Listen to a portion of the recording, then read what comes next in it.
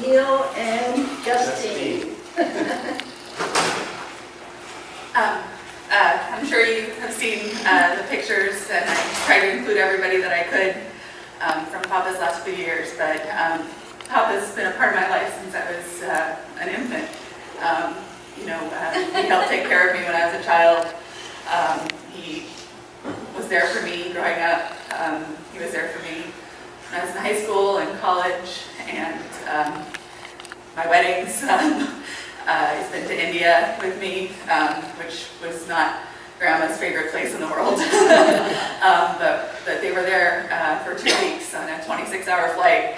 Um, And, and we had an amazing experience, and, and Papa really loved it. And, um, you know, all I can say is, is echo what mom and dad said, which is that, you know, Papa, he was light, and he was laughter, and he was joy, and brought happiness to everybody that his life touched. And I just, I think we can all keep that spirit of Papa in us so that it doesn't go away.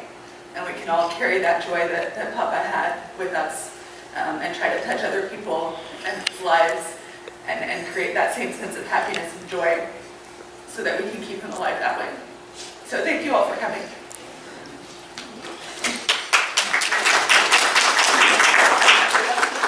Yeah, well, ditto on that one. Um, I just want to say that, you know, Papa and I were actually kindred spirits. We're both kids at heart, so we love Disneyland, Disney World.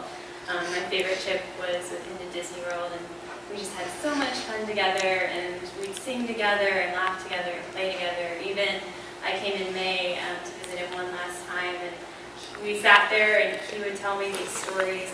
He could still tell those stories. I believe, because I'm, I'm the gullible one. You know, we were sitting there, and he was telling me all about, you know, corn and harvesting, and I'm like, Papa, I'm not sure if that's true. He's like, no, no, that's how it is.